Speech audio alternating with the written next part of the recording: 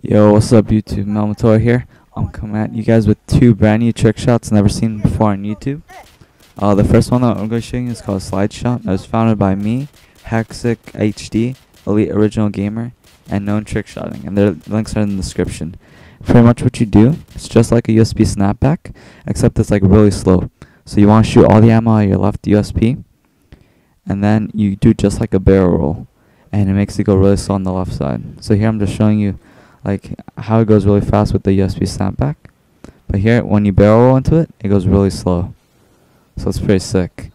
Yeah, so now I'm going to show you some like variations and stuff we can use in trick shots.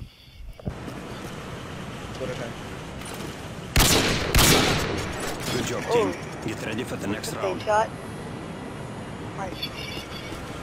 Ha, ikaw ganda. Don't rush it. Take your time. And whenever you hit it, it will be on the dime. Good There you team. go. Ready for the next Oh. round. God, you're my... Boom. You should include that phrase in there. Switching sides. Alright, the second shot, uh, it looks really uh, close to the slide shot, but I found this out by myself. I'm calling it the reslide shot.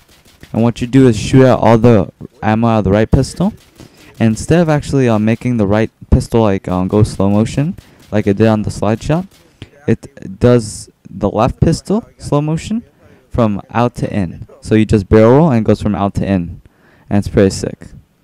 Alright. I like to think I'm confined for standing still for me, being my dummy, so his channel's in the description. And yeah, that's all guys. Just uh, please spread this to like there and FaZe so I could hit it and stuff. Give me credit if you got uploads to your channel. And yeah, that's pretty much it. Just like and favorite. I'm done. Bye.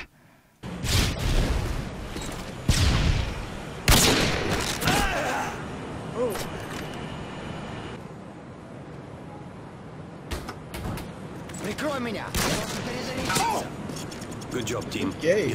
Also, if you could uh leave a video response if you hit this in a pub, I just want to see how many of you guys go for this.